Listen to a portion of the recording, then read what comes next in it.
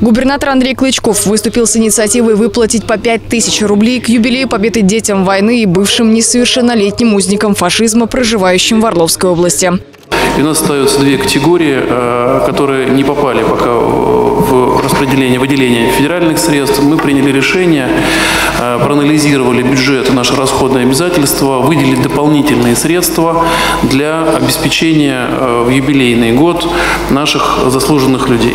Заявление главы области было единогласно поддержано народными избранниками. Многие из них отметили, что память и подвиг этих категорий граждан не должны быть забыты. Это решение не просто правильное, а оно э, еще раз подчеркивает важность этого года, года Победы, подчеркивает важность и значимость тех людей, которые пережили тут ужас войны, которые принимали самое активное участие для того, чтобы сохранить страну, для того, чтобы восстановить ее, для того, чтобы продолжать жить и давать возможность рождаться новым семьям, детям. Тем самым губернатор еще раз подчеркнул неприходящее наше внимание, в том числе и к тому поколению, детям войны, которые пришли во взрослую жизнь разбитого, разваленного государства и все сделали для того, чтобы мы сегодня жили в свободной, независимой России.